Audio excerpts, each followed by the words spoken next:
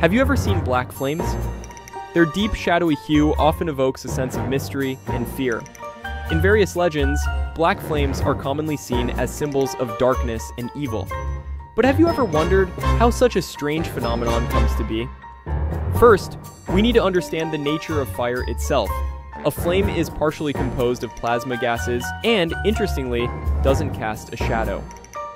However, black flames can leave a distinct mark on a wall, this is because the color of a flame can be altered by introducing different chemical elements. Colorful flames always draw attention, which is why special flame colorant powders are on the market designed for camping. Sprinkle them into a campfire, and you'll get a brilliant display of vibrant flames, truly magical.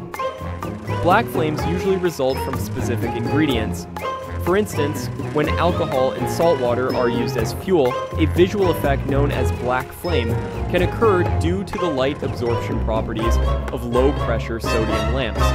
It's a phenomenon that's both mysterious and mesmerizing. Wouldn't you love to see it with your own eyes?